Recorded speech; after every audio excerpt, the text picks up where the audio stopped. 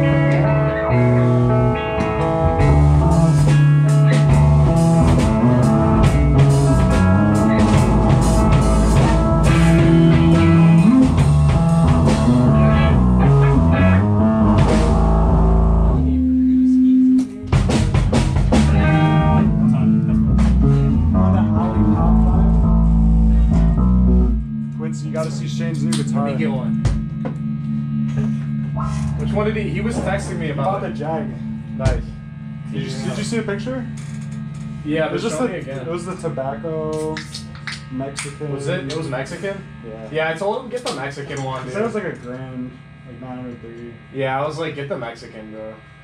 I was looking at some personally can't tell the Unibox. I was like, difference. I personally can never tell the difference. right. I mean, it's just like, Right. oh, it's made in America.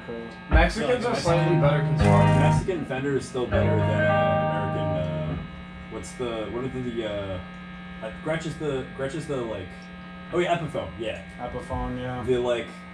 Uh, But I thought Gibson and King Epiphone type- was the same. or Gibson. It's Whatever Gibson, the- Epiphone, Squier, and Fender. Whatever the high end Epiphone, Huh? the whatever the high end Epiphone is, I feel like I like a Mexican Fender better than a, I like. An I'm not a Gibson guy. I Is really it- like Right. these guitars, but Uh, everyone gets the SG. yeah, that was like one of my first guitars. I got an Epiphone SG, and I was like, I really like this. Shane had a BC Rich Warlock. I got it because like Billie Joe Armstrong played it when I used to like Green Day in like middle school. Uh,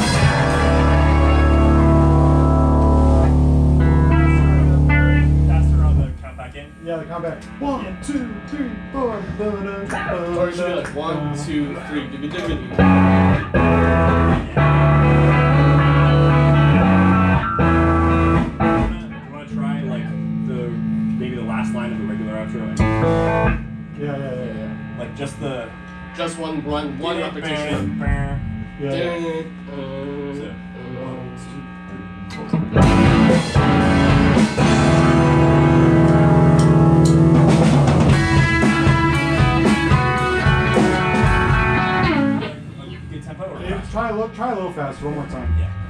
Same. Yeah, yeah, same thing. One, two, three.